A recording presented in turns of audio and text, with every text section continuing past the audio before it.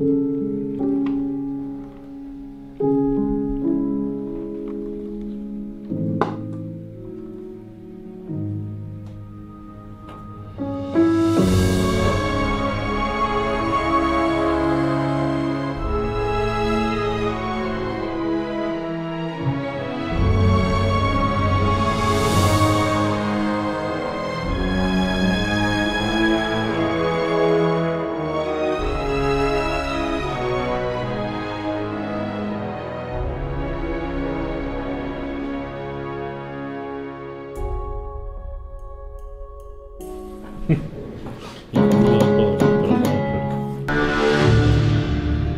Will I be in 3D for this?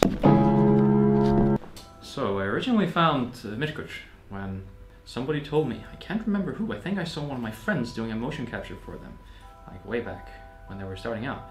So I'm like, hmm, an Icelandic video game company making a third person game. I want in. so sent them a message, hey, I do music. And they said, cool, we don't need music yet. But they told me, call us again in a year. And I did. So I made a pitch for them in roughly like nine months later or so. And sent it in, probably around 14 minutes long video with like 10 minutes of music. And on, on the writer, he, he sent me back like, you know what I didn't like about it? I said, what? There's nothing I didn't like about it.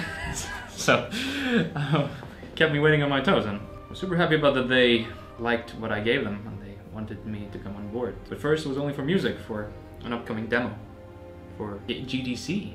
So I did that. I was living in, in the UK at the time, so I did everything remotely. I came to visit for one week to just get everything implemented and then I was back out again on, on the next flight. So I thought to myself, well, I can do this. They probably need a lot of audio. So I just called, hey, I might be going back to Iceland. Do you want me in? So that's how I ended up here with in Midgård. I started doing just mainly composing and doing uh, interactive music. That evolved into needing sound effects and Foley, so I dabbled into that as well. And then somebody to record dialogue, somebody to mix the dialogue, somebody to do audio stuff in general. So a couple months back, I made a suite, a musical suite. Suite, suite, suite. I don't know, it's probably a French word.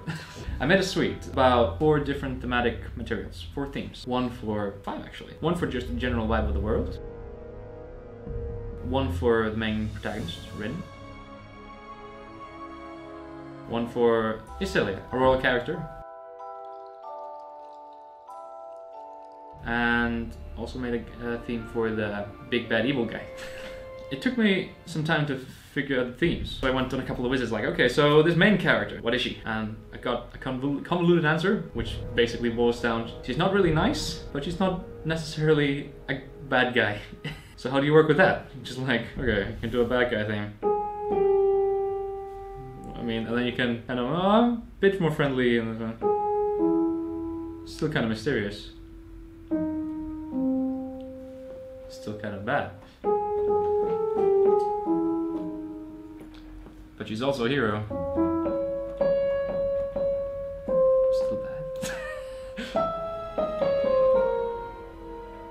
that was the wrong note. I'm not the most prolific of pianists. so we, so yeah, I made Rin's theme, I made Iselia's theme. I made a couple of themes. I put them up in this big, fancy, smancy orchestral package, alongside some ethnic instruments played by Sigurd Bodø Gretarsson, which you should check out. He's famous without you knowing him. And to, together with his, his uh, style of music, I put together a suite of about seven minutes. Yeah, Isilia's theme was more different. That was be before I knew everything about the character, kind of the, the gist of it. So it's kind of royalty, sweet royalty. So it's just kind of like this. So played by Celestis.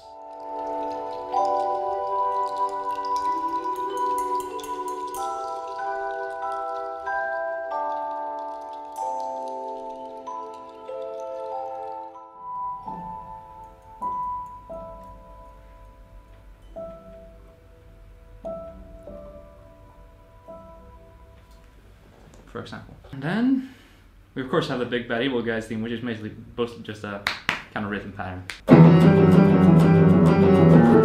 Too subtle? No. well, has the theme, but it's for you to find out later. Can't spoil you with all the things now. I mostly come from a, a film scoring background, so kind of looking forward to all the cinematics sound like the epic fights hmm. and dramatic moments.